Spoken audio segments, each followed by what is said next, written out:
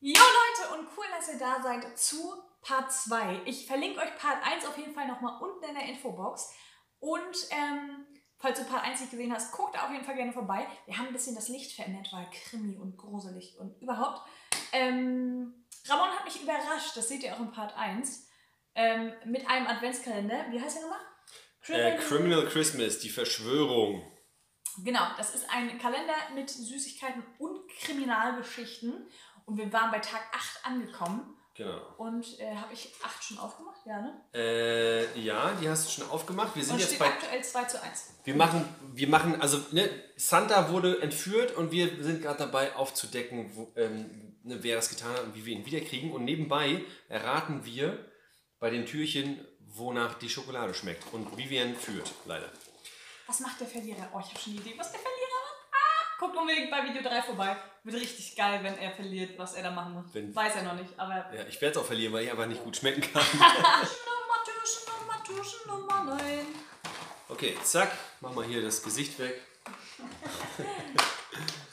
ähm, ja, ich bin gespannt. Warte. Zeig mal. Das ist hier du Das dunkle. Schokolade mit Zeug. Das hatten wir schon. Nee. Zeig mal nochmal. Nee, das hatten wir noch nicht. Cassis. Das kannst du nicht immer Ich sag sagen. bei allem Cassis, irgendwann stimmt's. Bleibst du bei dieser Antwort? Nee. Karamell? Bleibst du bei dieser Antwort? Karamell mit irgendwas. Keine Ahnung. Ich will, Granatapfel Gin. na, si- sicher ist es Granatapfel-Gin, habe ich rausgeschmeckt.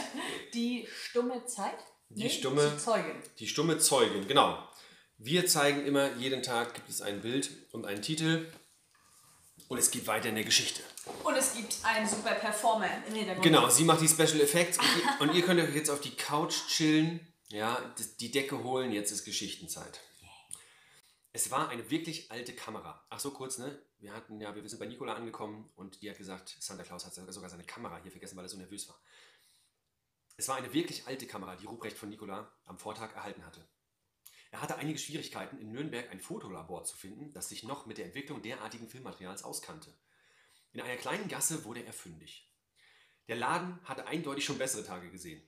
Die zunehmende Digitalisierung der Fotografie schien hier jedenfalls noch nicht angekommen zu sein. Zwei Stunden später erhielt er jedoch den entwickelten Film nebst einem Speicherchip zurück, der die Aufnahmen in digitaler Form enthielt. Ruprecht war beeindruckt. Er setzte sich in eines der zahlreichen Cafés, lud die Bilder vom Chip auf sein Smartphone und übertrug sie per MMS zur Zentrale der CSA-Zweckanalyse. Was ist mit euch? Was hat er denn mit MMS, Junge? Naja. Ruprecht will nicht überwacht werden von, Oh von mein- Mark Zuckerberg. Die kann man. ja, aber von allen anderen. Ja, aber okay. Für die Kinder MMS, damit wurden früher Bilder geschickt. Das braucht heute kein Mensch mehr. Ruprecht schon. Offensichtlich. Ja. Ähm, der Laborant im Entwicklungslabor hatte die Bilder in der Reihenfolge ihrer Aufnahme nummeriert. Cleveres Kerlchen, dachte Ruprecht. Die ersten Bilder zeigten Aufnahmen von Pralinen. Cousin Nikolaus, Nikola und jemandem mit Hörnern. Anscheinend einem Pärchen. Was auch immer das ist, ne? Äh, Dann änderte sich die Art der Aufnahmen. Ein merkwürdiger Nikolausstiefel war zu sehen. Spuren im Schnee. Ein Gefängnis und ein Rentier. Kurze Zeit später erhielt Ruprecht von der CSA-Zentrale eine Antwort, die endlich eine Spur versprach. Er bezahlte und verließ das Café. Noch bevor er in sein Taxi einstieg, hatte er bereits einen Flug nach Helsinki gebucht. Nur dort wurde diese Art Stiefel von einer Firma namens Yulupuki gefertigt. ähm, dass der Weihnachtsmann sie kurz vor seiner Entführung fotografiert hatte, musste etwas bedeuten. Ruprecht war endlich jemandem auf der Spur. Dieser jemand befand sich bereits in Helsinki und beschäftigte sich eingehend mit einem Gast, der seine Situation bestenfalls mit unfreiwilligem Aufenthalt beschrieben hätte. Damit kommst du niemals durch, zischte der Weihnachtsmann und äh, blickte auf die verächtlich lachende Person, die im Schein des Kamins beinahe teuflisch aussah. Hä? Das war schon er. Er musste hier raus oder seine Tage waren gezählt. So viel war Santa Claus klar. Oh oh. Und er hatte schon auch schon einen Plan. Tag Nummer 10. Ich bin dran. Habt ihr das geschnallt? Das waren zwei Szenen. Einmal war Knecht Ruprecht und war, hat Fotos entwickeln lassen. Und dann daraufhin hat er geschnallt, er muss nach Helsinki. Und dort haben wir jetzt den Weihnachtsmann. Glaubst du, meine Zuschauer sind alle im Kopf gefallen? Ja, ich, ich sage das nur für Sie. genau, stimmt. so, Tür Nummer 10. Oh, die Herzen. Ich weiß nicht mehr genau, was es war, aber ich werde es gleich schmecken. Herzen hatten wir schon, ne? Mhm. Ich wüsste es auch trotzdem nicht.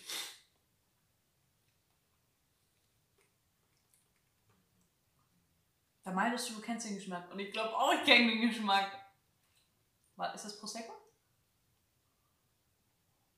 Was ist deine finale Antwort? Prosecco, aber es war noch irgendwas drin. Schmeckt mir nicht nach Prosecco. Und? Prosecco. Prosecco, ja, es tut mir leid, es ist Prosecco Himbeer. Ah, und schmeckt Himbeer einfach null! So gar nicht. So, das war Tag 10. Vivi liest wieder vor den Titel. Das Stiefelrätsel. Das Stiefelrätsel. Während des Fluges nach Helsinki hatte Ruprecht wieder einmal gegen die Flugbestimmung verstoßen und mit seinem Smartphone versucht, weitere Informationen über das Unternehmen Julupuki zu erhalten. Seine Recherchen hatten ergeben, dass im Zusammenhang mit den dort produzierten Stiefeln zwei Jahre zuvor allergische Reaktionen bei Kindern aufgetreten waren. Der Hersteller hatte dies kategorisch ausgeschlossen und auf die ausschließliche Verwendung geprüfter und schadstoffarmer Materialien hingewiesen. Eine Untersuchung des Falles durch zuständige Behörden fand niemals statt. Und kurz darauf meldete Julupuki Konkurs an, wurde an einen unbekannten Investor verkauft und im darauffolgenden Jahr wieder veröffentlicht. Angeblich wurde der Stiefel weiter im Inland nach strengen Qualitätsrichtlinien produziert, aber es gab einige Stimmen im WWW, wonach Julupuki nach Erfolg der Übernahme begonnen hatte, billigst in Fernost zu produzieren. Ruprecht versuchte mehr über den Investor in Erfahrung zu bringen, doch hier blieb das Internet mit seinen Informationen vage. Mal wurde ein fernöstliches Industriekonsortium vermutet, mal war es ein skandinavischer Großkonzern. Machst du auch noch irgendwelches? Gerade kann man nicht so viel machen. Ruprecht war sich jedenfalls sicher, dass der Weihnachtsmann etwas über Julupuki erfahren hatte, das schwerwiegend genug war, um Santa Claus zu entführen. Unterdessen hatte der Weihnachtsmann in, seinem Gefängnis, in seinem Gefängnis alles andere als eine schöne Zeit. Er saß gefesselt auf einem Stuhl und überlegte fieberhaft, wie er seinen Fluchtplan in die Tat umsetzen könnte. Man hatte ihm Mantel und Bart abgenommen und ohne diese beiden Dinge war er nur ein hilfloser alter Mann. Zweimal täglich kam eine Wache mit etwas Wasser und Brot. Man band ihn los, um ihn essen und trinken zu lassen. Möglicherweise war diese Wache sein Schlüssel zur Freiheit. Doch er wusste, dass vor der Tür zwei weitere Wachen standen und er wollte nicht unbedingt seine einzige Chance zur Flucht verspielen. Er brauchte unbedingt seinen Bart und seinen Mantel. Ich fühle mich auch mal besser mit Bart und Mantel. Elfi, elf, Bin, bin ich das, ja? ne? Elfi, elf, ja. Nummer 11. Es steht wie, wie viel? 2 zu 1? Ja, für mich. So, es ist was Helles. Ah, jetzt wiederholt sich das. Jetzt kann man, wenn Ja? man im Brain ist, so wie du. Ach nee, das. Ich das habe nicht, wir auf, nicht. ich Nein, hab das nicht hatten wir aufgepasst. Das hatten wir tatsächlich noch nicht. Weintraube Vanille. Cassis mag das Champagne. Halt die Fresse! Kann doch nicht wahr sein. Das sage ich einmal nicht, Katzise. Also hat man es rausgeschmeckt, sagst du. War klar. Spuren im Schnee. Genau. Spuften im Schnee. So. Tag 11. Die Maschine mit Ruprecht Knecht an Bord war in Helsinki kurz nach Mitternacht gelandet. Er hatte sich einen Mietwagen genommen und war umgehend in Richtung äh, Julupuki aufgebrochen. Das Fabrikgelände lag weit außerhalb der Stadt und in dem einsetzenden dichten Schneetreiben dauerte es ewig, bis er das hell erleuchtete Fabrikgebäude erreichte. Hatte. Wie bei allen mit dem Weihnachtsfest beschäftigten Unternehmen wurde auch hier rund um die Uhr gearbeitet.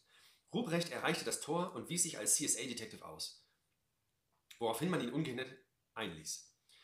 Parkte, er parkte sein Fahrzeug auf einem der leeren Besucherparkplätze und wurde von einem Mitarbeiter freundlich in Empfang genommen. Man führte ihn in einen Besprechungsraum, bat ihn Platz zu nehmen und servierte frischen Kaffee. Um die Wartezeit auf den Geschäftsführer zu verkürzen. Ruprecht war von dem langen Flug müde und ein frischer Kaffee kam ihm gerade recht. Allerdings wollte sich der belebende Effekt partout nicht einstellen. Im Gegenteil, je mehr er trank, desto schläfriger fühlte er sich. ich will Du bist richtig mit drin, ey. Du bist richtig dabei, super, ja. ähm, desto blabla fühlte er sich, habe ich doch gerade gelesen. Blabla, genau. Fühlte er sich, bis ihm die Tasse aus den Händen glitt und er betäubt vom Stuhl rutschte.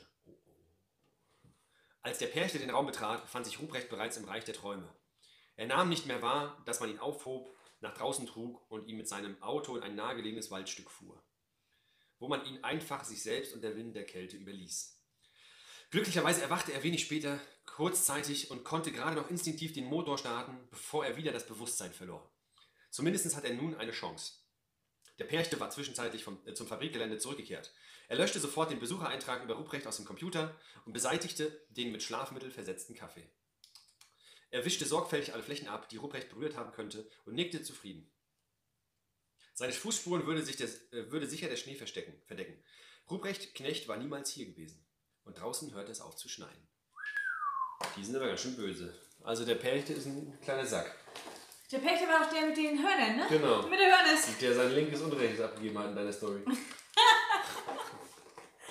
Nummer 12 ist das jetzt, ne? Zwölle. Ach, ich bin dran. Jo. So, jetzt tue ich mir mal noch schnell einen Punkt hier. Oh, ey. Übrigens, Ich sehe noch keine Chance, dass ich hier noch irgendeinen Punkt mehr kriege. übrigens sagen die Leute immer, äh, dass ich einen Hamburger Ak- Akzent habe. ja, du klingst auch so. Geil. Mir noch nie aufgefallen, hat mir noch niemand gesagt. Tür Nummer 12. Das ist aber auch nicht Ah, Hamburger. das hatten wir aber auch noch nicht. ja? Was ist das denn? Mecklenburgisch. Mecklenburgisch. Also ich dachte immer, wir sprechen Hochdeutsch, bis ich irgendwann mal Hamburger kennengelernt habe und die mich ausgelacht haben, wie ich geredet habe. ja, die haben, ich habe immer gesagt, die haben gefragt, und was machst du so? Ich habe gesagt, ja, ich bin Musiker und Rocker.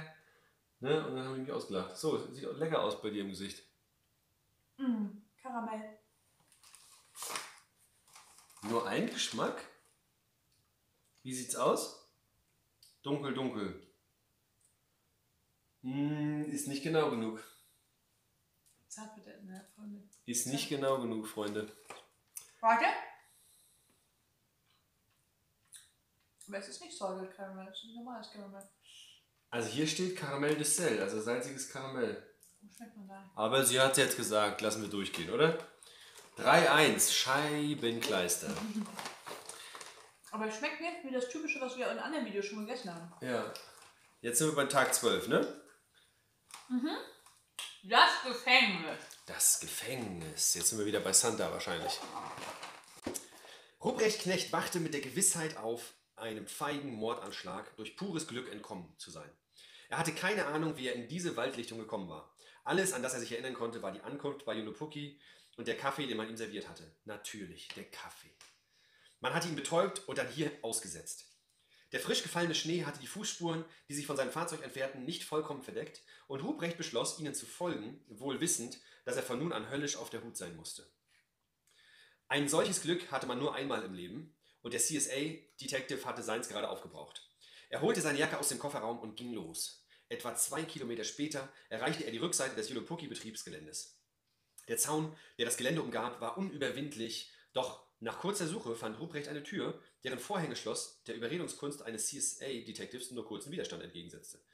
Er drückte die Tür einen Spalt weit auf und schlüpfte auf das Firmengelände.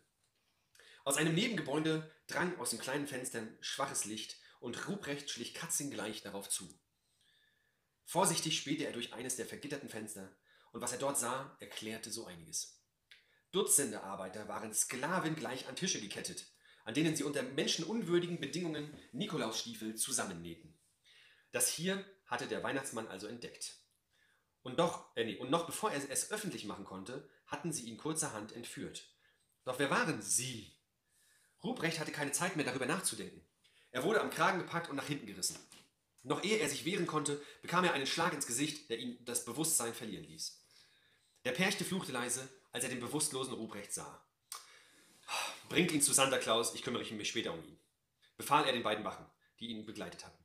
Dieser CSA-Detective fing an, den Perchten wirklich auf die Nerven zu gehen. Ich war gerade richtig gefesselt, Junge. Jetzt kommt Tag 13. 13. Dezember. Also 3 zu 1 steht es. Äh, wo ist es? Hallo? Äh, 4 zu 14. Äh, 4 zu 13. Okay. 13. Oh, das sieht lecker aus. Hatten wir, glaube ich, auch schon mal. Mal gucken. Zeig mal. Bist du behindert? Wie bin ich behindert? Zeig mal.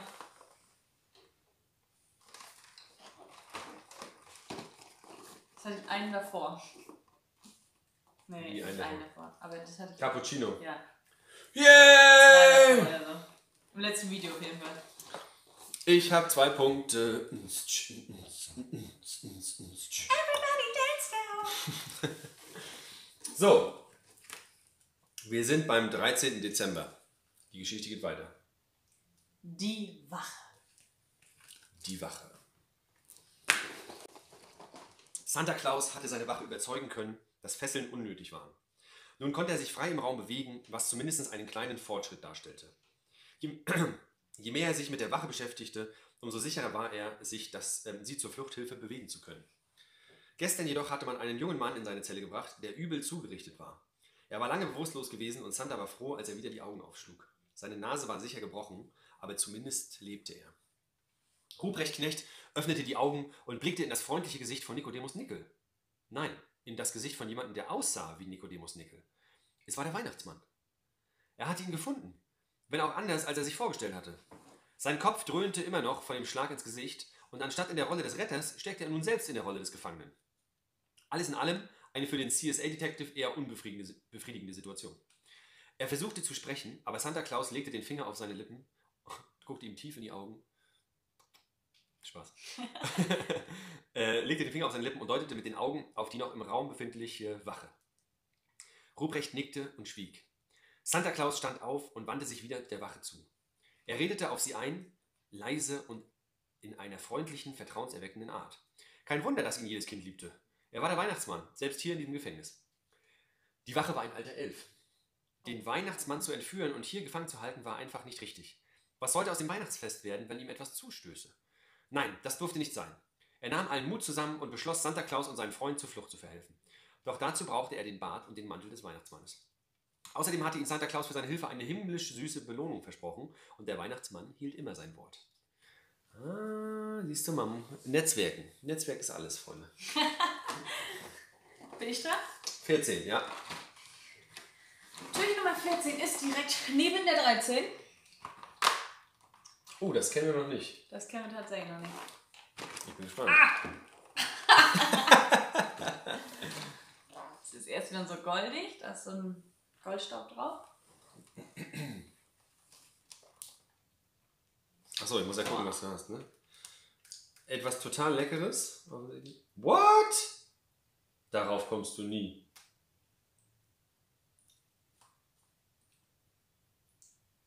Also das Goldige hier oben schmeckt wie.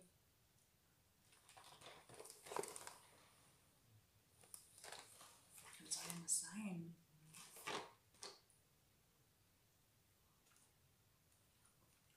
Äh, da bin ich jetzt echt ein bisschen gespannt, wie das schmeckt. Soll ich dir sagen? Oder gib mal einen Tipp ab. Krieg keinen Punkt, krieg keinen Punkt.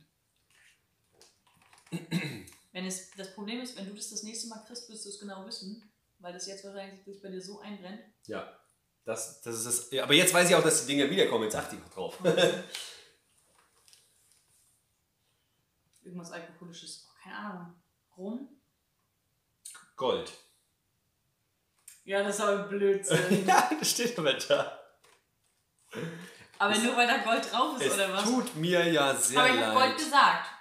Nicht, dass es nach Gold schmeckt, weil Nee. das kann nicht nach Gold schmecken. Ja, aber wir können dir nicht alles durchgehen lassen, Vivian. Du hast Ich schon, finde, ich finde, du hast schon Schokolade Trost, können wir nicht werden, du weil... hast gerade Nein. schon Trostpunkte gekriegt, Vivian. Nein, Hör auf. Du musst dir nicht immer den Sieg erschleichen. Ja? Du musst dir nicht immer, immer schummeln. So, Das war äh, war das 14 jetzt? Kommt 14? Ja. Vivi liest vor. Ähm, auf der Fluch. Flucht. nee. Auf der Flucht. nee, warte mal. Wie wäre es denn, wenn statt dem U ein V wäre? Flucht. Flucht. Genau, das habe ich gerade versucht. 14. Dezember. Jetzt habe ich ein bisschen in die Kamera gespuckt. Macht nichts. Die Wache hielt ihr Wort. Noch vor Mitternacht hatte der Elf den Weihnachtsmann seinen Mantel und seinen Bart zurückgebracht. Ruprecht hatte nie verstanden, warum die CSA die meiste Zeit damit verbrachte, nach falschen Bärten und Mänteln Ausschau zu halten. Doch Santa Claus hatte die Zeit des Wartens genutzt und Ruprecht alles erklärt. Nun wunderte, wunderte er sich, warum er die Zusammenhänge noch nicht vorher begriffen hatte. Dieser Bart und dieser Mantel waren magisch. Sobald Santa Claus beide trug, hatte er die Fähigkeit, schneller als das Licht zu reisen und ohne einen Kratzer durch engste Kamine zu rutschen. Alles, was er dabei berührte, bekam die gleichen Eigenschaften, solange er es Kontakt zu ihm hielt. Äh, ihre vollen magischen Kräfte entwickelten Mantel und Bart jedoch nur in der Nacht des 24. Dezembers, wenn der Weihnachtsgeist von ihnen Besitz ergriff. Benutzte man sie außerhalb dieser Nacht, war es möglich, dass die magischen Kräfte für immer verschwanden. Uiuiuiui. Doch dieses Risiko mussten sie eingehen. Die Ereignisse der letzten zwei Tage und die jüngst zur Schau gestellte Gewaltbereitschaft ihrer Gegner ließen nichts Gutes erwarten. Auch der Weihnachtsmann hielt Wort. Kurz bevor Ruprecht und er durch den Kamin flüchteten, griff er in seine rechte Tasche und reichte dem Elf eine Handvoll Pralinen, wie er, äh, die er wie einen Schatz annahm. Dann rutschte der Weihnachtsmann mit Ruprecht Knecht im Arm durch den Kamin nach oben und sie waren frei. Zumindest nicht mehr gefangen, denn der schwierige Teil lag noch vor ihnen. Ich habe etwa zwei Kilometer von hier ein Auto auf einer Waldlichtung äh, stehen. Wenn wir es dorthin schaffen, sind wir gerettet, flüsterte, achso, flüsterte Ruprecht. Der Weihnachtsmann nickte und sie begannen vorsichtig mit dem Abstieg vom Dach, schlichen im Schutze der Nacht zum Zaun und verließen das Gelände so, wie Ruprecht es zuvor betreten hatte. Nachdem sie sich einige Meter entfernt hatten, begannen sie zu rennen, als sei der Teufel hinter ihnen her. Und irgendwie war er das auch. Junge. 007 Action. 15. Ja. Achso, ich bin. 15. Uh. Gold.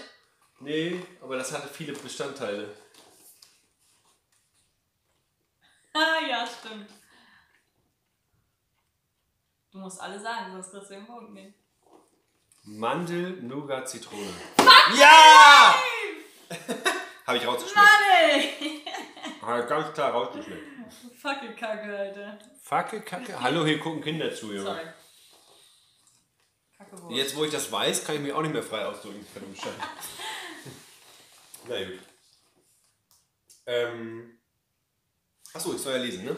Genau. Das war der Aufgabe. ich mach kurz mal Pause.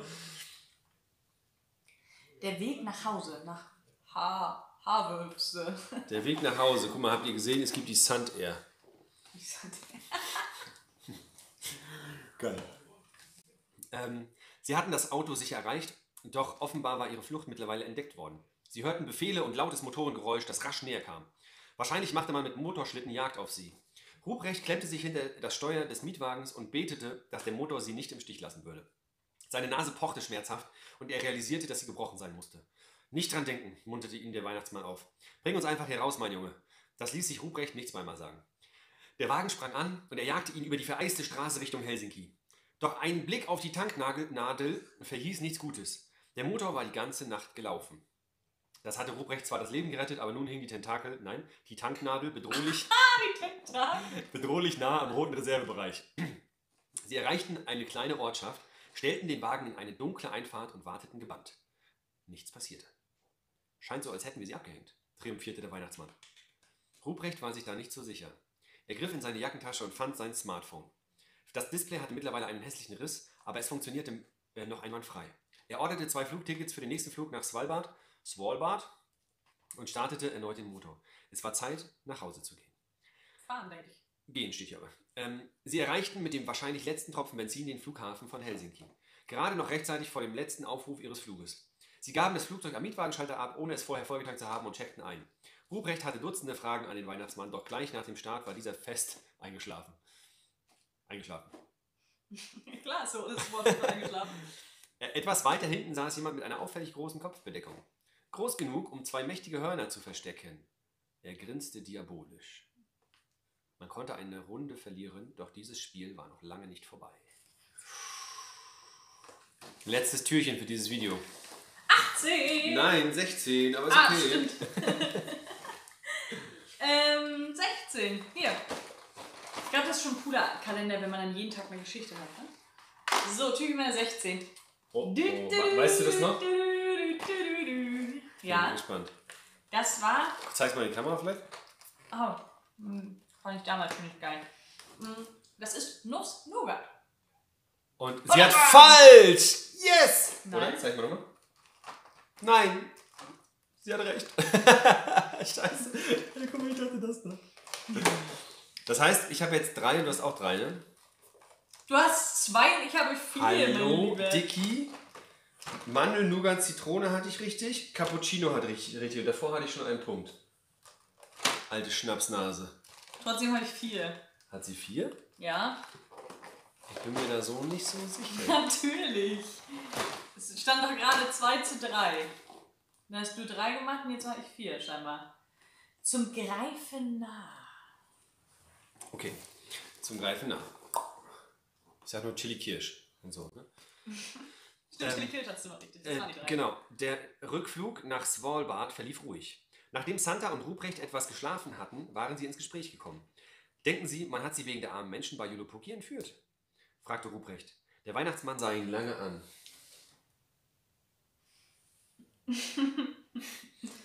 ähm, dann schüttelte er traurig den Kopf.